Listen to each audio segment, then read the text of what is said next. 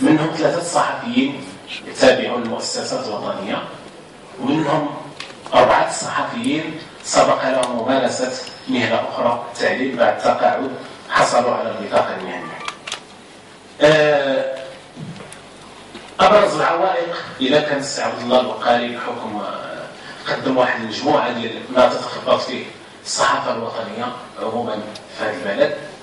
وتكلم على بنية إعلامية مهترئة ومقاولة هشة وتوزيع متهالك ضعف العنصر البشري عدم استقرار. قضاء غير قادر على بناء الاستقلالية ديالو. هنا غنبداو نتكلموا على أمور اللي بعيده كل بعد هذا الشيء أحيانا تيبان لنا إحنا في الصحافة الجهوية أنه من يعني من من من, من المكملات أن تكون عندك بنية مهترئه خصك تكون بعدا يكون عندك مقاولة هشة ما كاينش مقاولة باستثناء مقاولة وحيدة الان ومقاولات يعني على الورق مقاولة ديال ديال الجريدة ديال ملفات اللي هي بالمناسبة الجريدة الحاصلة.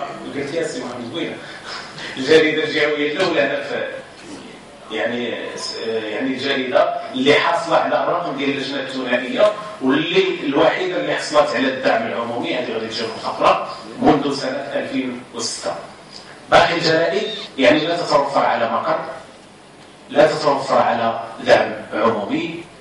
إيه لو بغينا نتكلموا على الاكراهات اللي عندنا ديال الجرائد الورقية الجهوية مسألة الطبع هذه من من من الأمور اللي إذا كانوا الجرائد الوطنيه عندهم مطبعه حدا وتيلقاو صعوبات في في يعني في, التأدية ديال التكاليف ديال الطبع. هنا راه الناس تي تي يسعاو يرزقوا ولادهم يطبعوا به مرة في الشهر ولا مرتين في الشهر وتيقلب على منين منين يعوض. عدم التوفر على موارد مالية كافية وغياب الإشهار. إذا كانت السلطة ديال التحكم في الإشهار في الجرائد الوطنية والتوجيه ديال الإشهار هنا ما كاينش اشهار بل الاكثر من هذا أن المؤسسات الكبرى الاقتصادية يعني المؤسسات الكبرى الاقتصادية بهذا بهذا المدن اللي في تراب هذه المدن تتمنح الاشهار مؤسسات إعلامية وطنية وتحرمهم من المؤسسات اللي يعني إعلامية والجرائد الاعلاميه محلية وحتى لا كانت شي حاجة تكون شي حاجة ديال الفتات من الخواص. آه بالنسبة لحرمان الصحف آه الجهويه من العمومي اللي تعتبره مجموعة من المدراء الصحف هو عدو الصحافة الجهوية. نظرا للشروط اللي تعتبروها جد قاسية ومجحفة. نظرا أيضا لخصوصية هذه الجرائم وخصوصية البنية ديالها عموما. آه انعدام التكوين الكافي وإعادة وإعادة التكوين بالنسبة للصحفي الجهوي. آه هذا الغياب ديال التكوين تيساهم في تفشي واحد المجموعة ديال الظواهر والسلوكات الإعلامية اللي تستوردناها يوميا يعني الابتزاز وغيره. وارشح ارشح أن هذه المشاريع ديال القوانين بعد الاطلاع عليها. وكما غادي نشوفوا في الندوه ديال العشية أن أكثر من سيعاقبهم الصحفيون اللي في الجهات علاش؟ لأن غياب التكوين تماما. وغياب الإيمان ديالهم بالمشاريع ديال القوانين. آه، التضييق على الصحفيين. طبعا يتعرض العاملون في الصحافة الجهوية للمضايقات أثناء المزاولة ديال العمل ديالهم خاصة أنهم تيكتبوا على الناس اللي تيشوفوهم يوميا.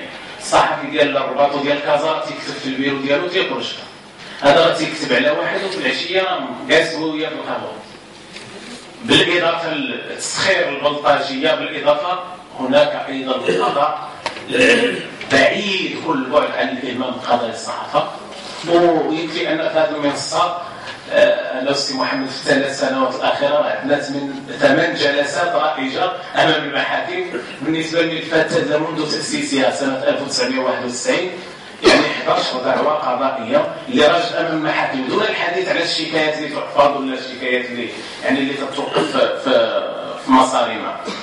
آه، بالنسبة يعني هذا يتضح لنا بالنسبة للصحافة الورقية سؤال حول ماهيه الاعلام الشهوي الذي يسعى إليه المهنيون كيف سيتم تمويل هذه الصحافة الجهوية؟ مقاربة المقاوله الإعلامية علاقة الصحف المحلية بالسلطة والمستشهرين نوعية الأخبار المعيقات التي التي يواجهها الإعلام الورقي الجهوي المنافسة التي بات يفرضها الإعلام الإلكتروني. تطرح أسئلة حول مستقبل هذا الصنف من الصحافة وقدرته على الاستمرارية ومواجهة التحديات المادية والمعنوية. آه، بالنسبة للصحافة الإلكترونية حسب معطيات وزارة الاتصال اللي أعلن عليها في يوم السبت الماضي أن آه، عدد الجرائد الإلكترونية وصل 158 سبق قليلا أنه 166 الصحافة اللي مرخصة إلكترونيا في المغرب عدد الصحفيين العاملين بهذه الصحافة هذا وصل في يعني في هذه السنة ديال 2015 إلى 89 صحفي بعدما انتقل من 26 سنة 2013 46 2014 موزعين على 20 صحيفه إلكترونية.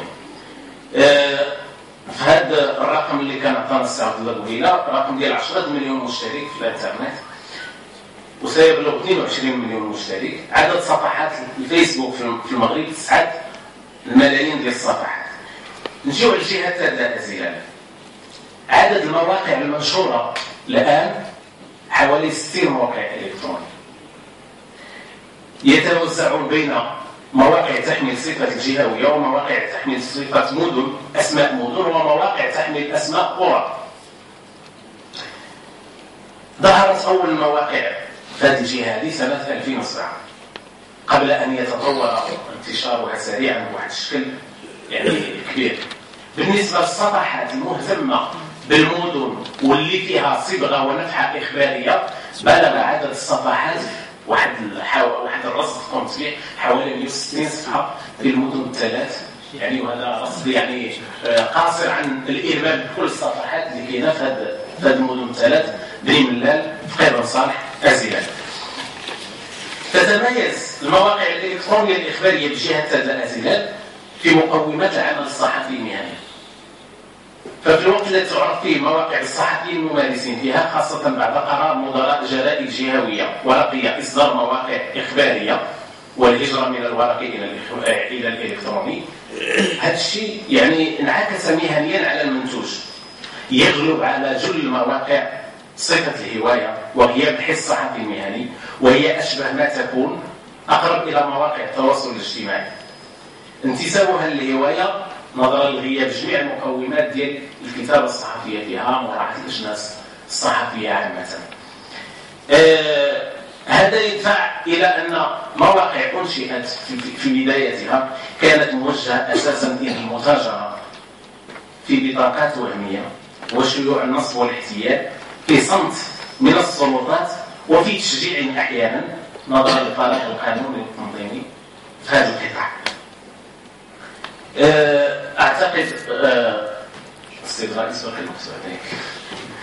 أعتقد أن إذا كانت مواقع مجهوله الهوية ولا تتوفر على وضعية قانونية سليمة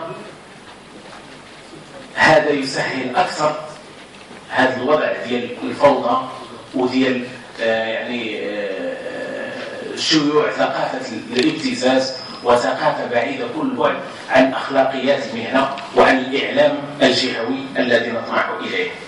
يعتقد الإعلاميون أن من التحديات التي تواجه هذا القطاع هو أولا حماية الصحفيين من الاعتداء ضمان مستوى عالي من المهنية والحرص على أخلاقيات المهنة خاصة فيما يتعلق بدقة بالدقة في نقل الأخبار واحترام تعددية الآراء والحياة الخاصة وانتهاك حرمة المعطيات. وأمام الرهانات وأهم الرهانات تتمثل في التنظيم الذاتي للمهنة تاهيل النموذج الاقتصادي والمنظومة القانونيه لتحقيق الاعتراف الكامل وتعزيز الاستثمار في البنيه التحتيه لتكنولوجيا الإعلام والاقتصاد والتعامل مع مع إشكالية الإشهار وتحفيز الاستثمار في هذا المجال. طبعا لن آه، يعني آه، آخذ من وقتكم الكثير للتذكير بأن وزارة الاقتصاد الآن يعني قبل سنتين أخرجت الكتاب الأبيض لتأهيل الصحافة الإلكترونية وضعت فيه تحديات تواجه هذا القطاع آه، التحدي التكنولوجي الاقتصادي تطوير المحتوى دعم أخلاقية المهنة آه، تحدي التكوين لكن يغيب اليوم الحديث عن الإعلام الجهوي في مشاريع القوانين الجديدة باستثناء أصوات النقابة أو المهنيين. وحديث محتشم للوزارة في الندوات واللقاءات دون أن يتجاوز ذلك إلى خطوات إيجابية شكرا لكم